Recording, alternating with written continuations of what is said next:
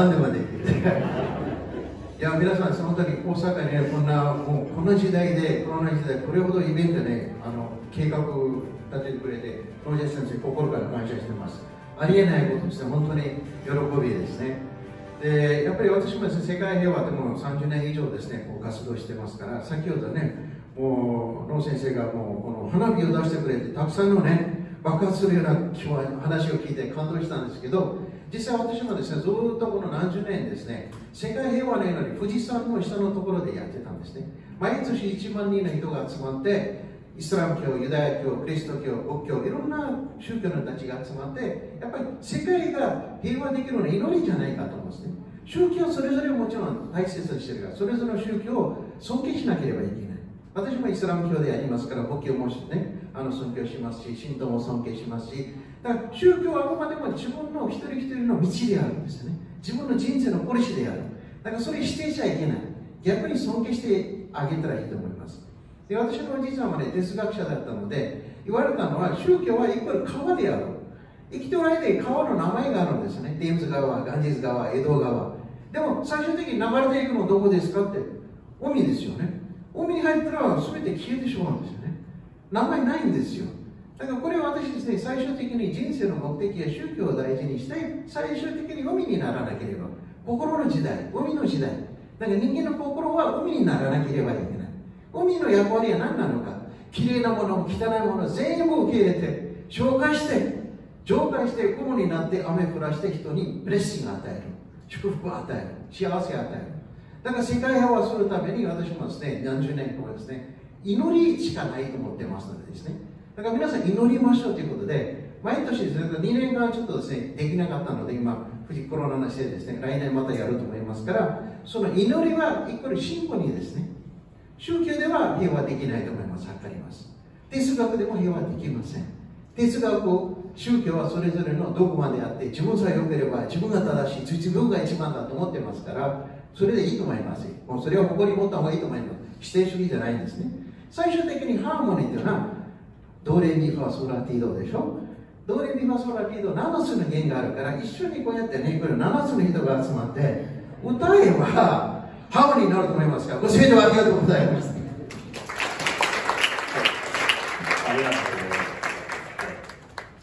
じゃあ、どうぞ。どうも、おはようございます。ノーさん、ありがとうございます。それで、皆様、今日朝、集まってくださって、本当に皆様に、心から感謝いたします。さんと10年ぐらいになるかな。それで、野さんと会う前ある前。大丈夫？聞こえる？野さんと会うことのきっかけちょっと言わないといけないんだけどあるジャパンミッションの方が私の三茶にインドに行してたところいてそれで3時間ぐらいそのいろいろ話になっててあのあのナビがなんか考えてること同じ考えを持ってるこういう外国の方のノージェスさんいますので、ぜひ何と合わせていきたいということで、それで私ぜひ合わせてくださいということで、やっぱりあって、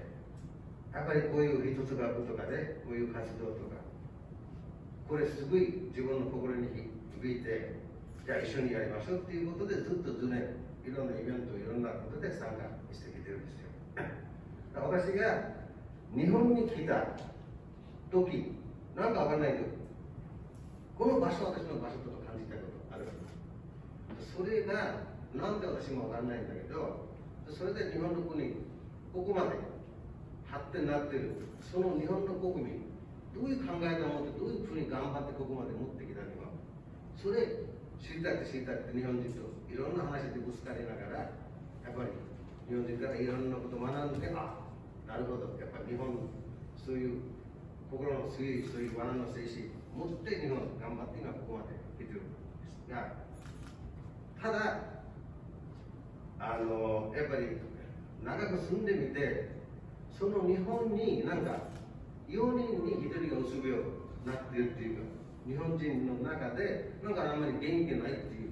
ことが見た時なんで日本人ないもんですかってことなの私の中で。悩めるのはアジアのご飯食べられないとかアフリカの人たちとかねそういう人たちがね悩むんですがただなんかわかんないけど自然に私が店抱えながら日本人を抱えながら私が本当にこれなりたいと思ったことなくて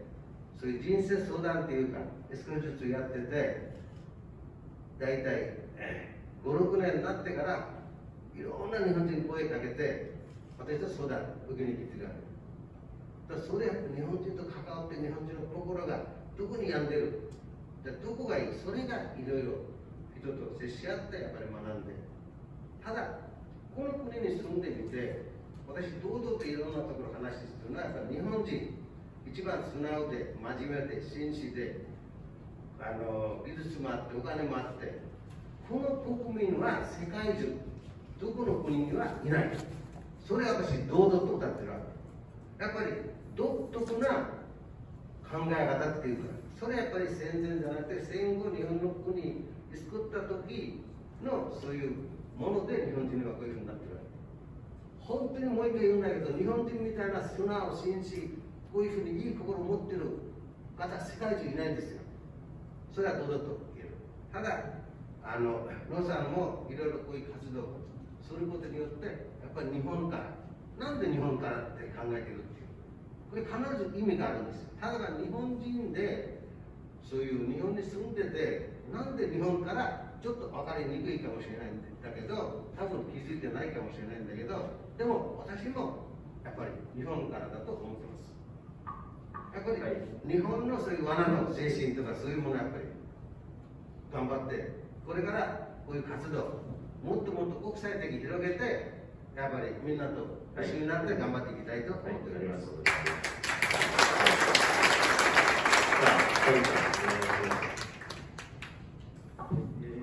まあ、私はもうあの日本は大好きですね。それ皆の共通点だと思いますけれども、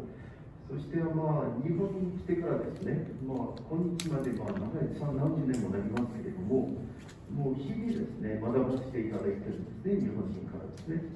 今日も来てここまでですね、あの地下鉄乗ってきたんですけども、日本人のその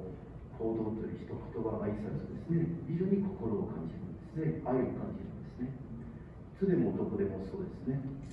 そしてあのさっきあのノーさんおっしゃってたんですけれども、やっぱり、まあ、例えば宗教の話も出たんですけれども、みんなそれぞれの国はその文化とか歴史とか、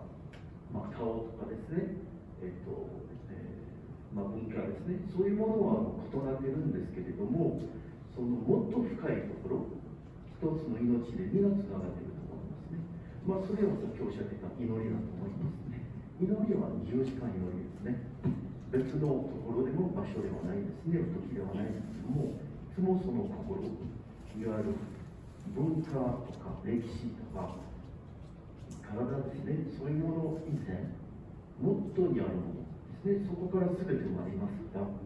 だからまあ共同体という時ですね、例えば今から地球の共同体とか文化になり得るかどうかという話になるんですけれども、もともとその国出ちゃ型じゃないです。